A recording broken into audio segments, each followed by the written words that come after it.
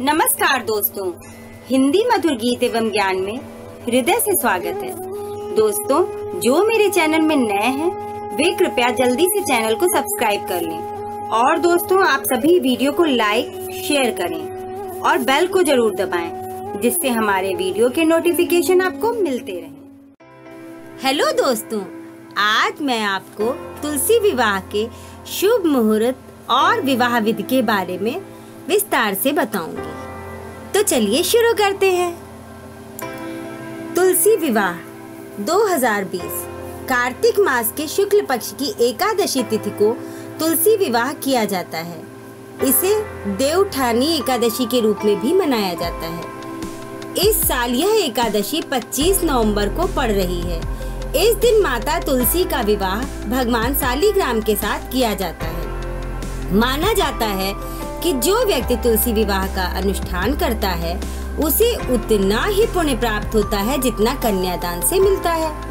शालीग्राम विष्णु जी का ही एक अवतार माने जाते हैं। इसके पीछे एक पौराणिक कथा प्रचलित है। आइए पढ़ते हैं ये कथा। पौराणिक कथा के अनुसार, एक बार तुलसी ने विष्णु जी गुस्से में आकर शाप दे दिया था, जिसके चलते वो पत्थर बन गए थे। इस शाप से मुक्त होने के लिए विष्णु जी ने शालीग्राम का अवतार लिया। इसके बाद उन्होंने माता तुलसी से विवाह किया। ऐसा कहा जाता है कि माँ लक्ष्मी का अवतार माता तुलसी है। कई जगहों पर द्वादशी के दिन तुलसी विवाह किया जाता है। आइए जानते हैं शुभ मुहूर्त और विवाह के पूजन विधि। विवाह की पूजन विधि। तुलसी विवाह के लिए तुलसी के पौधे के चारों ओर मंडप बनाना होगा। फिर तुलसी के पौधे को एक लाल चुनरी अर्पित करें। साथ ही सभी श्रृंगार की चीज़ें भी अर्पित करें। इसके बाद गणेश जी और शालीग्राम भगवान की पूजा करें। शालीग्राम भगवान की मूर्ति का सिंहासन हाथ में लें। फिर इनकी सात परिक्रमा तुलसी जी के साथ कराएँ।